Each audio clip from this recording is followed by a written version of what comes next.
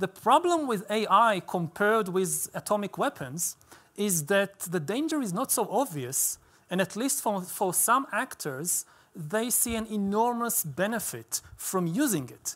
With, with the atom bomb, the great thing was that everybody knows when you use it, it's the end of the world. You can't win a nuclear war, an all out nuclear war. But many people think, and I think with some good reason, that you can win an AI arms race. and that's very dangerous.